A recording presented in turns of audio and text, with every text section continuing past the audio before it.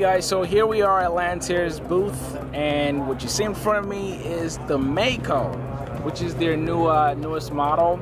And what makes this aircraft unique mainly is that right there. See, the nose wheel uh, is set to, uh, to be retractable. And uh, it's so cool in the sense that there is no switch to retract that nose wheel. It would just retract by itself. All right, so I'm gonna take you guys, just give you a 360 of the airplane first. But as you can see, it looks it looks very similar to the uh, to the Lancair uh, 4, and this aircraft is supposed to compete with the uh, with the Cirrus and the RV10. Okay, so let, let's go around it. Let's check it out. When we look at style and design, very similar to the Lancair 4, the four-seater also looks very similar to an RV10 and a Cirrus, which are its two uh, closest competitor in my opinion. But apparently with this aircraft you're supposed to get much better performance for a fraction of the cost. Let's get a shot of the interior here. You know, one thing Lancair has been, I would say, guilty of may be that the cabin is can feel tight. I would say the pilot side, which I'm looking at here, doesn't seem too tight. You have a lot of leg room, okay? Lots and lots of leg room here uh, on both pilot and passenger. Now the the uh, the back, on the other hand, I'm not sure there's a lot of leg room there it feels tight back there but you also have a lot of room for for baggage in the back. So those are some of the things you got to think about.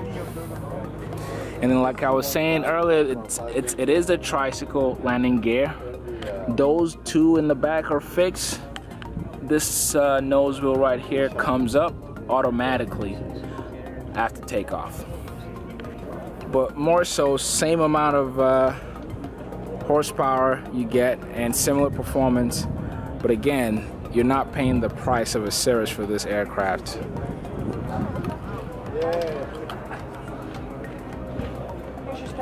So here we are. One thing I'm big on again is the cabin space and how uh, just the the reach of things as a pilot. And as you can see in the middle console here you have an armrest which I don't know if it's removable or retractable. But here, your fuel selector, you have a middle control stick. I, I've never flown an aircraft with middle con control stick before, so I really don't have an opinion on it. So I, I don't know if it's more comfortable or better. I believe this is your throttle here, okay? I could be wrong, but this would be a throttle here. As you can see, there's one on each side of the airplane. Uh, this model here is equipped with a Garmin glass cockpit. And oh, look, so cool. Push to start right there. No more keys, just push to start. Okay, your vents are on each side, one right here, two at the top, and one on the other side. Okay. The cabin looks very clean, very nice and finished. Again, it would take a pilot uh, to fly this thing to get a proper review. The main thing I wanted to ask is the design of this cockpit here. I don't think I've seen this. Uh, I think I saw it just recently on a, on a Bushcat where you have a middle stick and I'm assuming this is the throttle. That is, yes. Okay.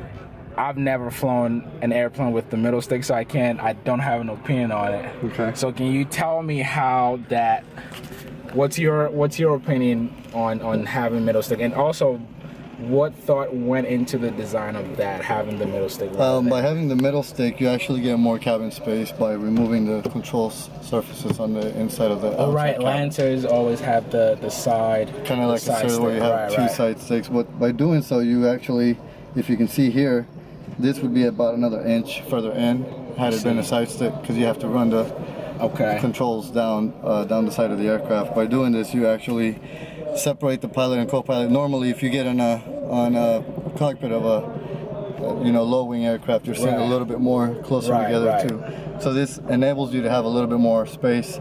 Um, I have shorter waist, longer legs. Yeah. So I can sit up there and put it as a follow right. line. Okay, so can you do that for yeah. me, please? All right, so he's gonna get up there. And how tall are you? So about 5'10". Okay, he's 5'10". We're pretty much the same height. Okay, so for someone 5'10 to sit back here and someone 5'10 flying the airplane, he's gonna adjust his seat. All right, wow, that feels a lot better. Okay, guys, I lied, I lied, okay. Uh, now it's more comfortable. Look at my headroom here, at least a couple of inches.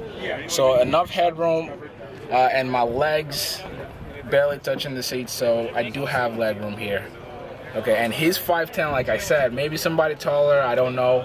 But we're both 5'10", and we fit in here perfectly. I could probably scoot up a little, like one more notch, but this is this is where I would be. Okay. And I should also mention the back windows. This is pretty awesome. I think a lot of aircraft designers, uh, they miss out on this part whenever you carry passengers and you have tiny windows in the back, but they have pretty large uh, windows back here. So that's awesome. He just proved uh, proved uh, my theory wrong. It is quite roomy back here.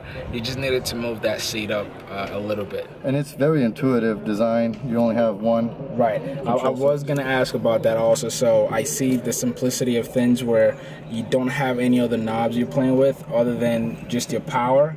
Power RPM. oh, okay. RP oh, wow. So let's see. So there's an RPM. Mm -hmm. This had this is a control. Uh, so this think has a function. this as your blue knob. So this okay. would be. So let me get closer to that. See this knob right here, guys? This is functional. So you have your power, and how does that work? So when you're, for example, taking off, you would increase your throttle and uh -huh. then uh-huh. click it in, gives you maximum RPM. Oh wow! And then once you're airborne, you can pull back the power and trim your RPM back to whatever settings. And you are basically getting uh, you get response from exactly. your screen. Awesome. Right. Wow. So again, back to the to the control surfaces for someone, I would say the most traditional pilots. I train in a in a, in a Diamond Star where mm-hmm. my stick is here, right. and I'm so used to having my left hand on the uh, on the stick. Right. So if I was sitting on the left side of the aircraft, I would have to use my right hand. Now, right. how would you say is the adjustment for? I would say the the average pilot who who has that. Well, I think for one, you can have either option. You can have the center stick or you can have the side stick when you're oh, building oh, your kit. So, so, for this particular, this is an option. Oh, you can go with the it's standard. an option. I didn't yeah. know that. I thought this was just the. the so um, and then we've had a couple people go in and, and test fly, and I've never heard any uh, problems or any kind of concerns. Okay. Um, as to you know uncomfortable or difficult to control or maneuver. It's just okay. becomes intuition. All right, awesome. So my last question, uh, other than the obvious that I've already seen, I think you guys beefed it up with really cool technology. Just the the push to start, I think that's cool. What else would you say sets this airplane apart from its competition?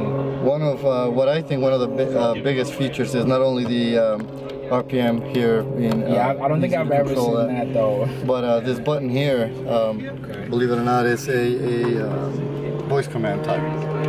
So when you're getting busy and you're going from you know transitioning between airspaces or tower to control uh, approach, you right. just ask it to do it. So you can uh, push the button, say tune the nearest tower, and the system will tune itself to the nearest tower. Or uh, oh, so wow. Okay. So you can ask it, what's my true airspeed, true altitude, voice command and give you an answer. Yeah. So it won't just do it. It will.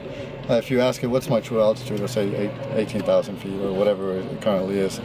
Um, same thing with tuning the tower or approach or departure control. That's, that's, pretty awesome. So yeah, it's a voice command. That's pretty awesome. So there you have it, guys. This thing is jam packed with crazy technology. And what is the price again for? 127.5 is the kit. Uh huh. And then plus your options and your avionics. Okay, so let's say this model. I've this particular one here, as it sits, you're looking at about 500,000. 500,000. Still, still about half or maybe 60% of what you would pay for a brand new Cirrus. So you still get a lot of uh, a lot of bang for the money here. Thank you Absolutely. so much for Anytime. showing. I really appreciate it. Okay, guys, there you have it. If you have any questions, let me know in the comments below. Peace.